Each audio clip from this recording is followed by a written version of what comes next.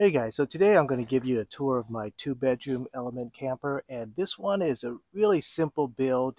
There wasn't that much building I needed to do, but it's really flexible for people that still want to use uh, their element as their daily driver because all the back seats are intact. I didn't take any of them out or anything like that.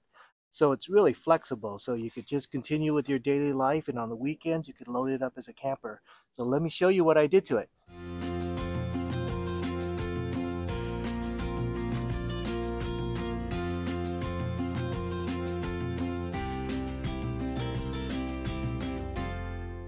Right, first let's take a look around. You know, I put in these uh, fog lights or road lights, whatever you want to call them.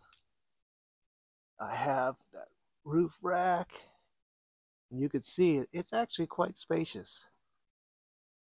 It's not a big SUV. And this is the bulk of the building I did back there, and we'll go over that in a second.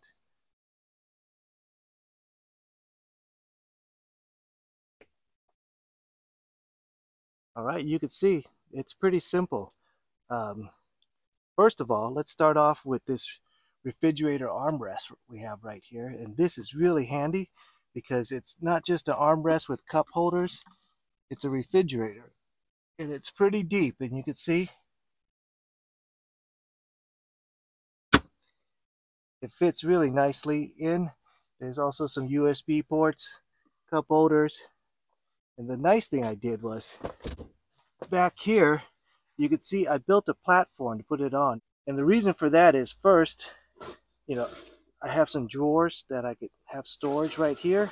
And the platform allows me to pull the refrigerator out. Right, so it's on these drawer slides and you can see it pulls all the way back so that if you're back here, you can pull it back and you can access your refrigerator really nice and neat. And it slides back a really uh, important feature of this sliding option is is that it allows me to access my brake handle. You can see I built that box around my brake handle, that storage box, so I could still use my brake handle, uh, my my parking brake when I need it. Otherwise, it would be covered up by the refrigerator. So that gives me the flexibility to still use that parking brake and at the same time, having the luxury of this uh, refrigerator here, there's even some USB ports back there. And this slot, you can see I built around that handbrake and you can have extra storage stuff under there. Uh, I really like this. Um, it's called a Bodega cooler brand, but it's a refrigerator. It's a real refrigerator with a compressor. It's not just a cooler. Okay, so I upgraded the stereo to this CarPlay deck so that you know I could have GPS and CarPlay. Uh, the old one was just a, a CD player, but uh, I upgraded this. So, you know, having CarPlay for GPS is great. I really recommend it. Um, down here, I added these USB ports because uh, this element is pretty old and it didn't come with any standard USB ports. So I added that. So that's really all the mods I did up here up front you know, phone holders and things like that. No big deal. Okay, so when I do go off-roading, sometimes it is dark. I do have these uh, off-road lights that I have installed and some brush guards, and that's not really a big deal. so for those lights, I have this switch right here that I installed. Okay, so the element doors, they all come with these nice storage things. So you know, I keep my first aid kit there, and I'll be stocking it up with more with insect repellent and bug spray and things like that. There's like a, a bear horn coming back. Um, so in, in the back seat, you can see there is a divider here and you're going to see where that is key. But again, I kept the original seat. So this is going to be part of my bed and we're going to take a look at that in a little bit. Underneath, there's absolutely still storage room. And on this side, I have a table and an inflatable bed. We'll show you that too. All right, so as I mentioned, a key component to this build is that it's it's a normal daily driver. The back seats are still here. Take a look at these this table, and I used this table on my previous build too, and my previous camping trips. And these are great, and they're really compact. They store really nicely.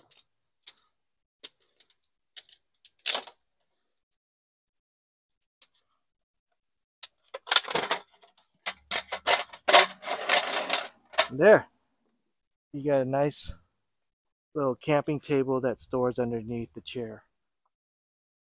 All right, so back here is when things get very convenient, and this is the, the bulk of my build is all these two boxes right here, and these are key.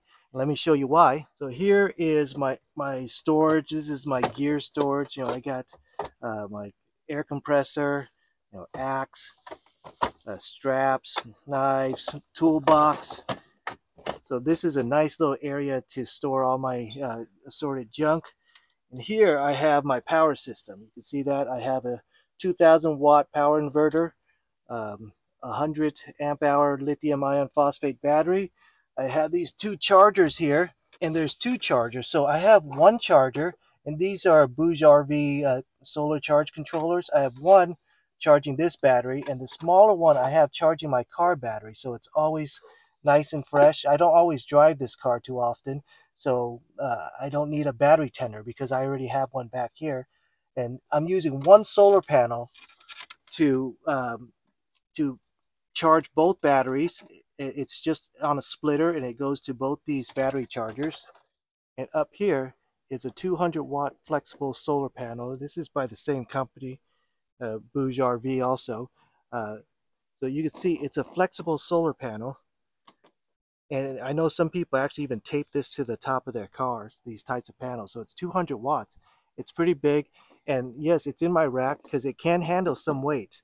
Uh, I can put some weight on top of it. It's going to be okay. But, you know, I could also store stuff back there.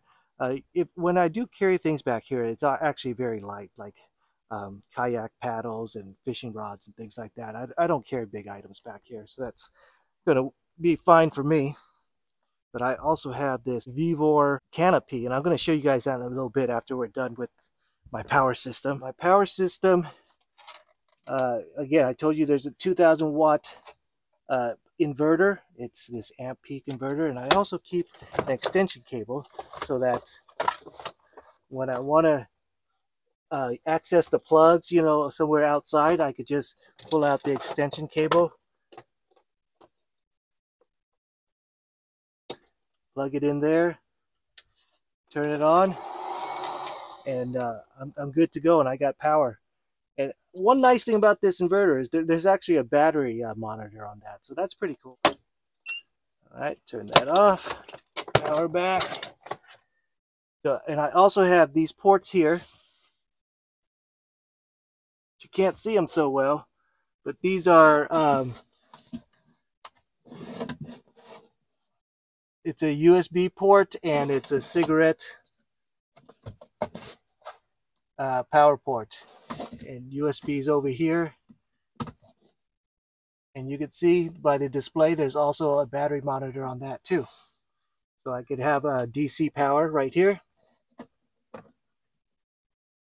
And you can see I did cut this notch out of my box to accommodate uh, accessing those things so that uh, we can access it still. Okay, coming over here to this side is my kitchen box this is really neat. Let me show you. So I could cook on it like this, or I could turn it and have it a nice cooking counter like that. Or I could just pick up the whole thing and take it to wherever I need to go. And all my kit is here. It's a little sloppy right now, but you know, here's room for all my spices. I got some small pots here, a bigger pot here, and this is my frying pan. You can see I don't have to deal with the handle because there's a removable detachable handle like that. So it doesn't take a, you know, it's going to be hard for me to store a pot with the handle, but with a detachable handle like this,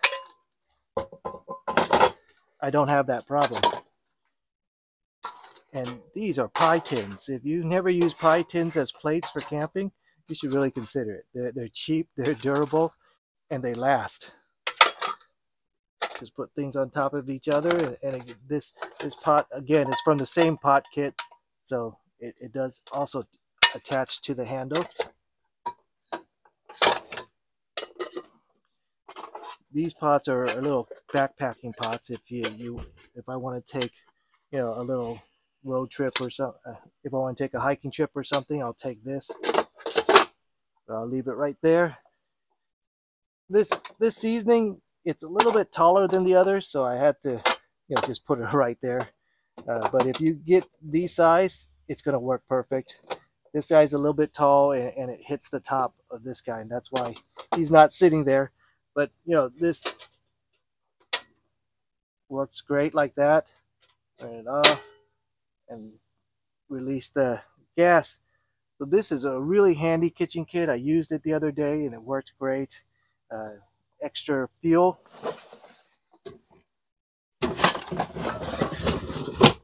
And it stores nice and neatly right there out of the way. And if you look at the, the size and the height of these boxes, that's very important for my next demo because these chairs are going to fold down as the bed. So let's do that. So the Element has this really nice feature where the chairs fold down like this. And you can see it's really close to a bed already. And because of that, I'm going to be able to make two beds in my two bedroom. And you see the two boxes that I built. It fits perfectly on top of the boxes. And this partition, you're probably wondering what that was for. But now I'm going to slide the partition. Go to slide the partition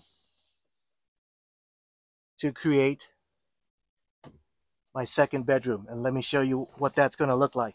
Okay, so for the beds, the Element has this feature where this seat will fold back like that.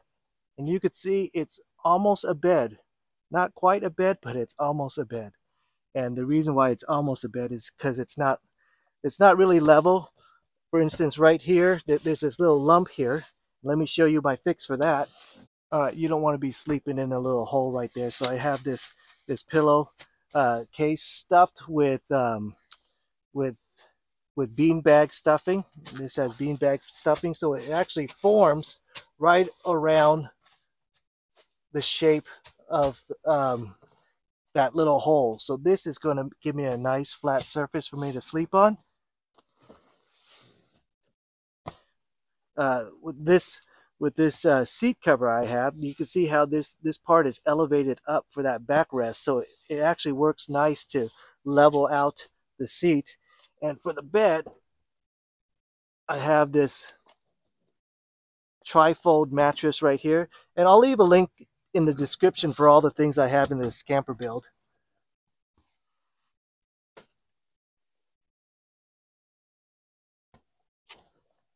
And you just set up the bed like that. And you can see there's plenty of room for me.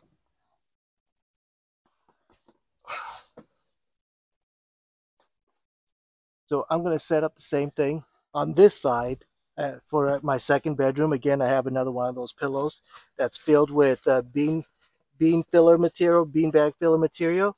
And on, on this side, I'm going to use an inflatable mattress just because it's more compact than the foldable. Just to show you guys, you could use different options, but you can see the inflatable mattress is very small, stores away really nicely. You could use either options. I, I prefer um, foam mattresses because they're a little bit more comfortable, but you can't beat how well inflatable store. So let's set this one up with the inflatable.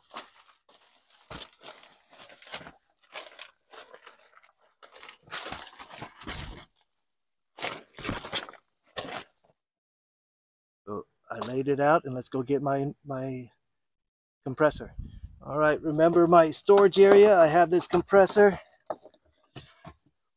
here this is a tire compressor and a um, a air mattress inflator it'll inflate uh, stand-up paddle boards and things like that too not just air mattresses but there's a setting for for your mattress and a setting for your car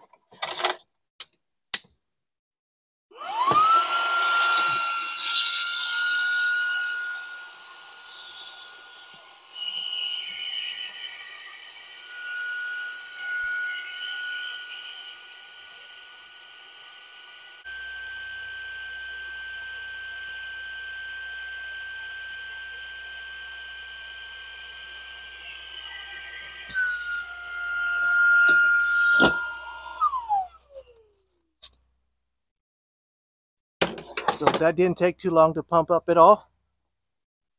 All right, so the inflatable bed is up. My uh, foam mattress is ready to go. So let's put on the sheets and demo the bed. All right, so let's take a look at the two bed setup.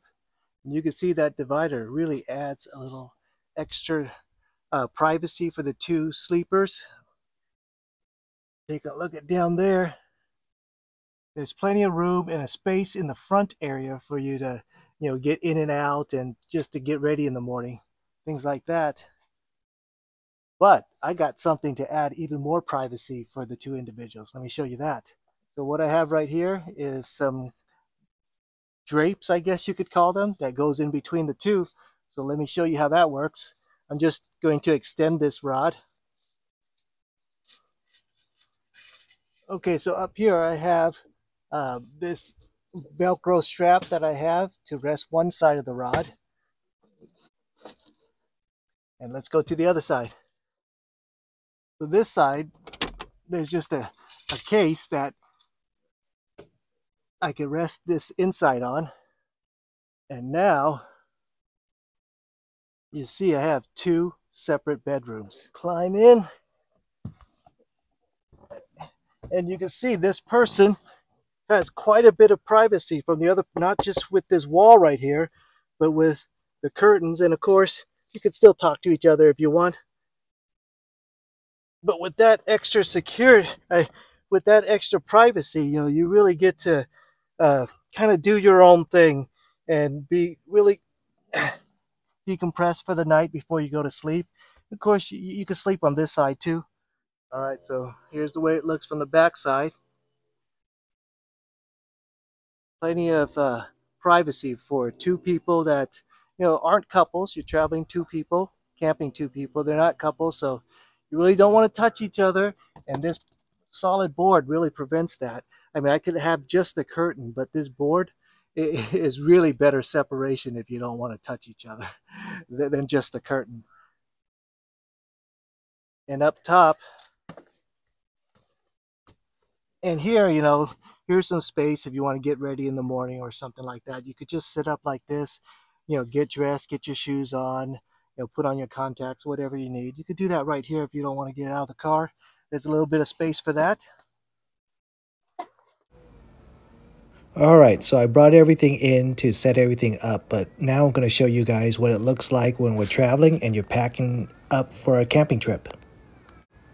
So when you're traveling, you probably need the seats up and then you got to bring in this bigger mattress if you don't use two inflatables and put away the curtains. And this is how it looks. So this is with, you know, one one mattress and one inflatable. If you go two inflatables, it'll be even smaller. And you remember the inflatable is underneath this chair. You can see how it'll be even smaller if you go two inflatables. And there'll be travel pillows for the people sitting in the back. All right, one last thing I said I'd show to you guys is this Vevor canopy. It's a budget canopy, but it's pretty nice. It packs away pretty neatly.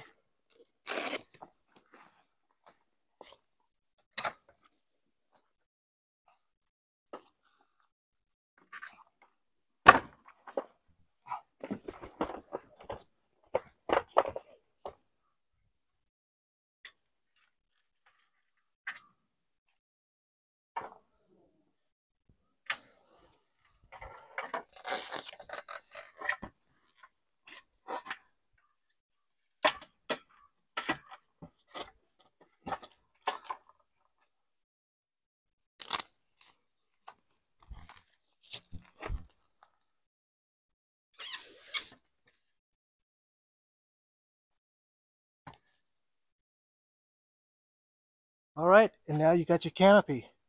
It's a little tricky to set up by yourself, but it's doable. So that's the full tour of my two bedroom Honda Element camper. And remember, it it's really easy. It actually travels four. The other two will just have to sleep in a tent, I guess. Um, but you can easily turn it back into your daily driver by just removing the mattress. Basically, that's it. Everything else is good. It's got solar panels to keep the batteries all topped off all the time. So let's go camping.